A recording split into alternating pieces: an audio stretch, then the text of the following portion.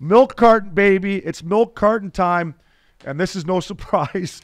we are putting Mike Babcock on the milk cart because he is no longer the head coach of the Columbus Blue Jackets. And I just got to say, the fact that Paul Bissonnette took this guy down is fucking. I mean, we talk about you know how far it's come with podcasts, and obviously Chiclets is the OGs of this shit, and Biz with TNT and everything he's got going. You know, we said besides Gretzky, Yeah. Biz is probably the most. He's got the most influential hockey Influential, thank you. media pl- media personality on the planet right now for us, It's- and it's great. It's just funny if, if Bob's just sitting at home being like, Paul Bissonnette, he couldn't fucking cross over. He couldn't play. Just ended my career. Do you think he's sitting at home wherever he is in Saskatchewan being like, Paul Bissonnette ended it for me? No, I think he ended it for himself, but yes, but Biz shining light on this, and I think he just had enough. I think Biz stepped up for for hockey players in general and said, enough with this old boys club of bullies. Um, if this is true, and I think it is, I'm going to stand up for what I believe in, and and he backed up his word three or four times via Twitter, via his podcast, which just like you said, they're the OGs, and it proves that you can have a voice. And I'm glad that it got shined. I'm glad they investigated it. I'm glad that players stepped up and spoke the truth. At the beginning, you didn't know what the hell was going on. Boone Jenner kind of swifted under the rug. That's where I want to go with you. Yeah. Yeah, and it, it is, and you know, Biz has built a platform, and and like he said, he said, I caught something he said today. He's like, he didn't give a fuck if Babs got fired or not. He was just bringing it to his attention. But Yeah, he didn't say fire deep, Babs. no, but deep down, it's just to me, it's funny that Paul Bissonnette fucking cost Babs his job. But um, listen, you talk about the players, and me and you sat in this very studio last week when the when the st- story surfaced, and I'll be honest, I was on the fence. You you were you were kind of, you know, agreeing with with what was coming out that this can't happen. I'm like, give it some time. Like, if a coach asked you to look at a family of a picture of Beckham and, and Izzy, I'm sure you would show it. Like he's just trying to get to know these guys, and then Johnny Hockey and Booner Boone Jenner come out and say what they did say, and I'm like, okay, maybe this is just misunderstood. My question is, who made those guys come out and say that? Did the did the did Davidson and the GM say you guys got to squash this right now? Because if that's the case, then there's a bigger problem than just Babcock with the Columbus Blue Jackets. Or did Boone Jenner and Johnny Hockey want to come out and say this? To me, them coming out and now it unfolding the way it did, maybe there's bigger problems in Columbus than just Mike Babcock. Because if they're trying to sweep it under the rug, that's not the answer ups. If you're the GM and you're the fucking president of the fucking Columbus Blue Jackets, you got to do the right thing here, not just, oh, boys, we got to clean this up because training camp's around the corner. So I don't know the answer to that. I would like to find out if they made Boone Jenner and Johnny Hockey say that statement because after that, I thought it was done.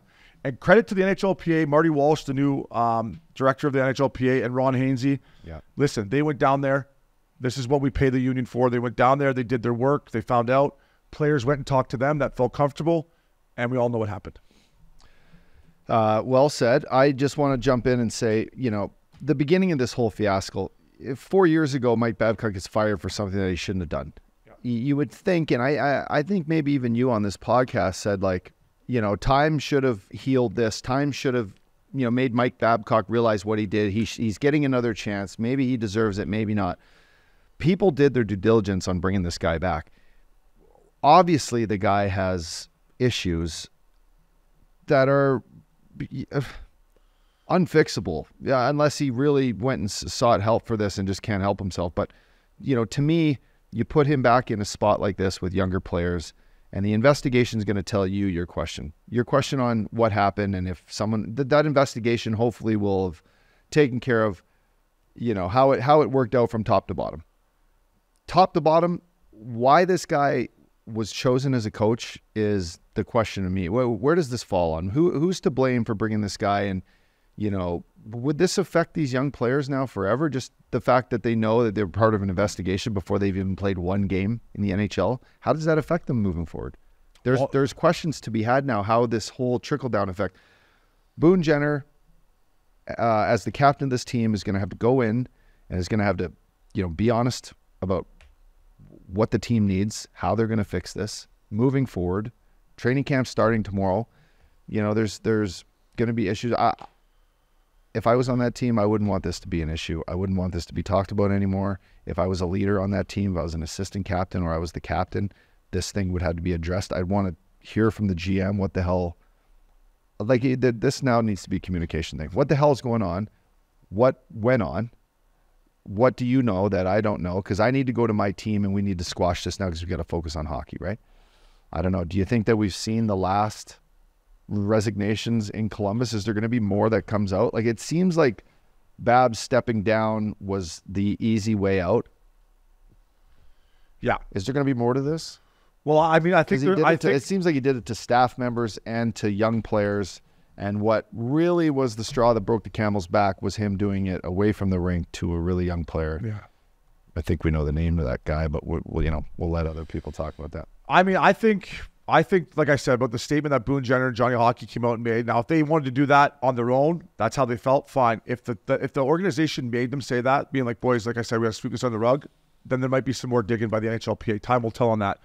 I would use this, and listen, it's Columbus. There's not a whole lot of media, but I'm with you. I hope they just leave this alone once training camp starts. They have a new head coach, uh, Vincent Pascal or Pascal Vincent. I I don't know who this uh, who is this guy. Pascal Vincent is Yeah, his name. Pascal And Vincent. He, uh, I liked him up. Well, I, I wish him the best of luck. I hope I hope he does well. DB here. If I'm in the Columbus Blue Jackets dressing room, we we often bag on Columbus, especially you, right? I mean, about how, you know how bad it is and this and that, but they're all the eyeballs are on them right now for something that is not good. However, people are going to see how they respond. I would use that if I'm Boone Jenner, Johnny Hockey, um, you know, Severson, a guy they brought in, Gudbranson, up these. Let's use this to rally around, boys. Let, let's go out and let's get off to a good start.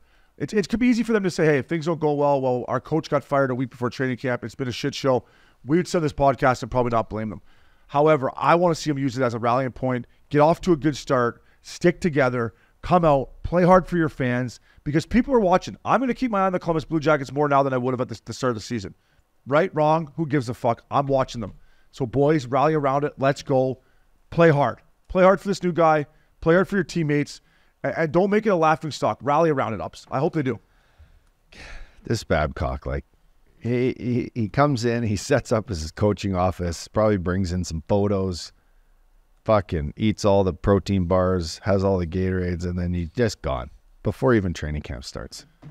Yeah, can you believe it? Like, can, can, can a guy Listen, figure it out? I, I had Look at Babs. this- the shit he's done. I know. Just real quick. So Cooley had Babs on the power play near the end of the season when I was co-hosting with them, and Babs came on, and I truly said to you, I'm like, I think this guy's changed. So I fucking drank the Kool Aid. I, I was wrong, but go go over what he's done. Like when you look at this, like what a fucking bad dude, kind of here. The- Like, are you kidding me? Yeah, so it starts benching Chelios, the 2009 Winter Classic. He basically played two shifts, and then Chelly went in and poured beer in his water bottle, took his skates off, and just had beers on the ice. That's bench. great.